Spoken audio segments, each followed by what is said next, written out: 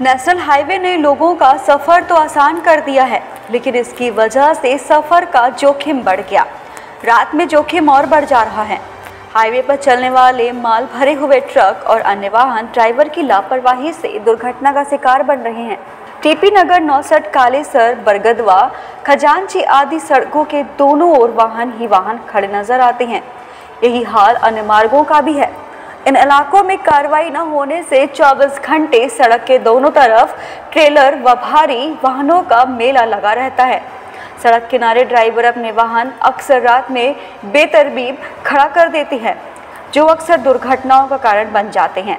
खास तौर पर ढाबों के आसपास ऐसे मामलों की संख्या बढ़ गई है। सबसे ज़्यादा बड़े वाहन ढाबों पर खड़े नज़र आते हैं।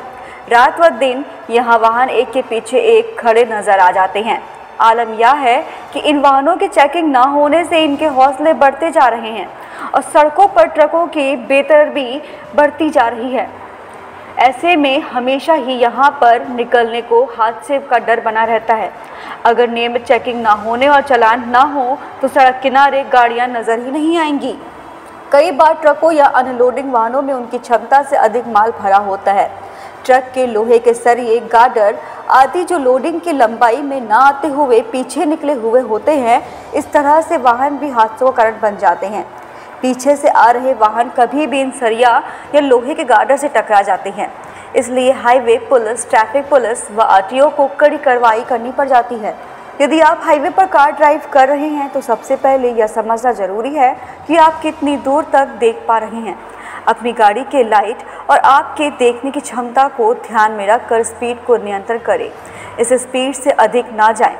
कार को डिवाइडर और सड़क किनारे मार्किंग के पास बिल्कुल भी ना चलाते हुए सड़क के दोनों ओर की मार्किंग को डिवाइड करने वाली मार्किंग लाइन से सट सटा कर चलाएँ। इससे पीछे से आने वाले वाहन से भी बचाव होता है।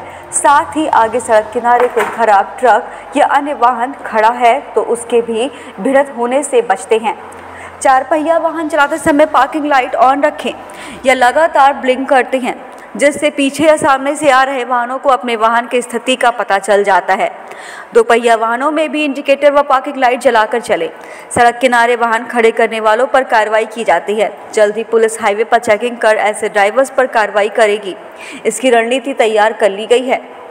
ब्यूरो रिपोर्ट आई